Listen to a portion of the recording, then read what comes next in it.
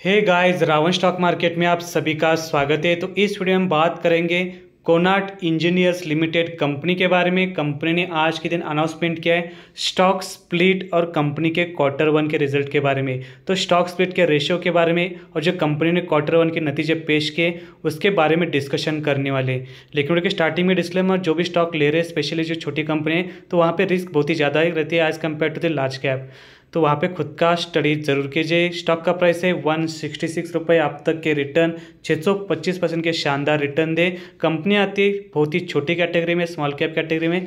जो market cap पे fifty two crore है रिटर्न इक्विटी दस परसेंट के आसपास, और जो कंपनी का जो है यहाँ पे क्वार्टर वन का रिज़ल्ट पेश किया है। तो यहाँ पे जो भी आंकड़े आप लोगों को दिख रहे हैं, वो है लैक्स में मतलब बहुत बड़े आंकड़े इस रिज़ल्ट शीट में। तो सबसे पहले रिज़ल्ट के बारे में डिस्कशन करेंगे, उसके बाद जम करेंगे यहाँ पे जो स्टॉक स्प्लिट का रेशियो और रिकॉर्डेड के बारे में। तो यहाँ पे जो पहला कॉलम दिख रहा है, वो है इस बार का क्वार्टर वन का रिज़ल्ट है, जो मिडल कॉलम है वो एक प्रीवियस क्वार्टर का क्वार्टर फोर का रिज़ल्ट है, और जो लास्ट कॉलम है वो एक क्वार्टर वन का रिज़ल्ट लेकिन 2023 का। तो क्वार्टर टू क्वार्टर और ईयर टू कंपैरिजन कर लेते हैं कि कंपनी को प्रॉफिट हुआ है, फिर लॉस हुआ है। तो यहाँ पे आप लोग चेक कर सकते हैं टोटल इनकम सब कुछ यहाँ पे एक्सपेंसेस देने के बाद जो भी पैसा हाथ में बच रहा है, वो रहता है टोटल नेट प्रॉफिट तो डायरेक्ट टोटल नेट प्रॉफिट देखते हैं।